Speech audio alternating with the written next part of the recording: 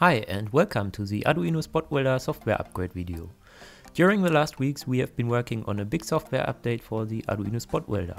In this video I will show you the new features. So let's power it up and take a look. The main screen has been updated so now it has a status bar at the top and the weld time setting as big as possible on the rest of the screen.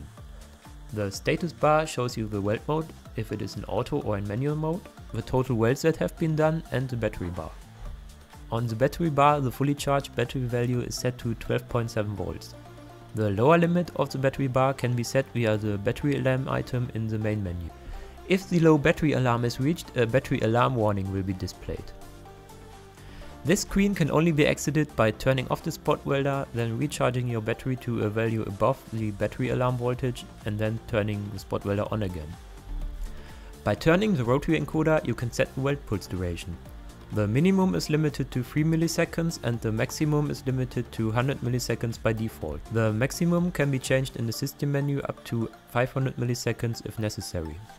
Now let's take a look at the main menu. You can enter the main menu by clicking on the rotary encoder. The functions of this menu were not changed, but the design was improved. In the main menu you can switch between the auto and manual mode. While in manual mode a pulse will be triggered by pushing the foot switch in auto pulse mode, a pulse will be triggered by just touching the nickel strip with both welding tips. Set the auto pulse delay time, which is the delay before a pulse gets triggered when both welding tips touch the nickel strip. You can set the battery low voltage alarm, which is by default 11 volts. This will also be the lower limit of the battery bar and the limit to trigger the battery alarm screen. And you can set the short pulse duration, which is by default 12% of the pulse time. The short pulse is meant to preheat and clean the weld spot before the main pulse happens. You can change it but 12% is usually a good value to work with. Okay, now let's take a look at the new system menu. This menu is hidden during normal operation of the spot welder. You can enter the system menu by holding down the rotary encoder button and then powering up the spot welder. As soon as the system menu is displayed, you can release the rotary encoder button. There are some new menu items in this menu.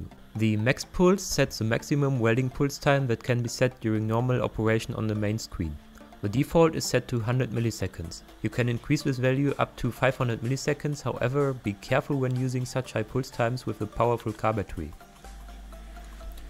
In the battery calibration menu you can calibrate the measured battery voltage. Due to some parts tolerances, the measured battery voltage can be off by 0.1 to 0.2 volt.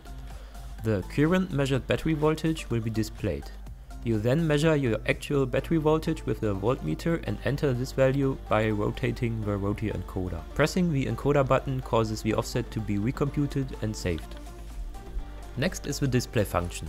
This function can rotate the display by 180 degrees. This is useful in some mounting configurations of a spot welder so you don't have to read everything upside down. Finally let's take a look at the boot menu. The reboot function will simply reboot your spot welder so you don't have to unplug power and power up again to leave the system menu.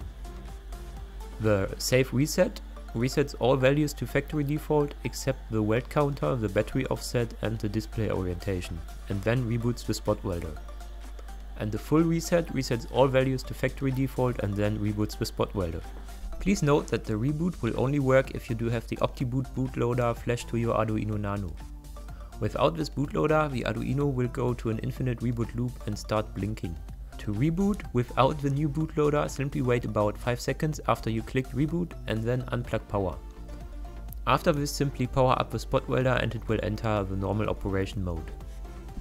For more detailed information about how to update the spot welder with the new software, take a look at the links in the video description. Thanks for watching and if you do have any questions, please leave a comment below this video.